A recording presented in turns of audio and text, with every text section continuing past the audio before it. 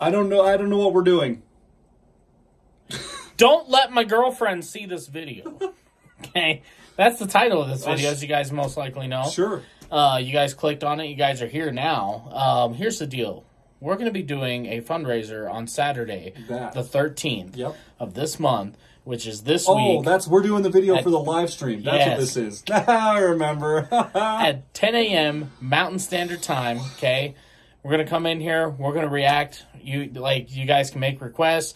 It's gonna be forty dollars per request. Okay, and uh, our goal our goal is to raise two thousand dollars. If we raise fifteen hundred, that'll that'll cover most of the stuff she needs. But here's the deal. She has, as of today, officially got licensed to do tattoos and piercings by the health department, so she's good on that front. Um, she's practicing with tattoos.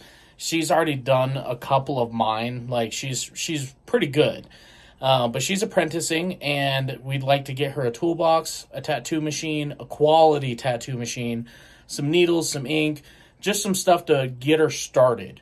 Um, because I'm a mechanic and it cost me $54,000 to get started, okay? That's much like the mechanic industry. They have tools, some are better than others. Ask me how much money is sitting in this room around us right now. A fuck road, A lot of money in this room. So you know, pick your poison. So I, I mean, she she doesn't make a lot. She she works two jobs right now. She works at the Ink Spot as a piercer, and basically is just kind of an errand runner. Um, you know, when they need stuff, they send her out, and she goes and does that. Which she makes a little bit of money from that. And then she works at a canvas shop here in town where she builds drag dummies for like fire departments and different stuff like that.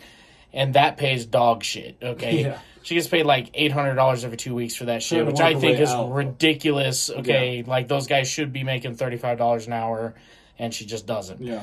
So we want to help her out. We want to be a blessing. If you guys would show up and show out for her, she would lose her mind. It'd be the greatest thing ever. So This Saturday, Saturday. This the thirteenth, ten a.m. Mountain Standard Time. We will see you guys there. Show up, show out. See ya.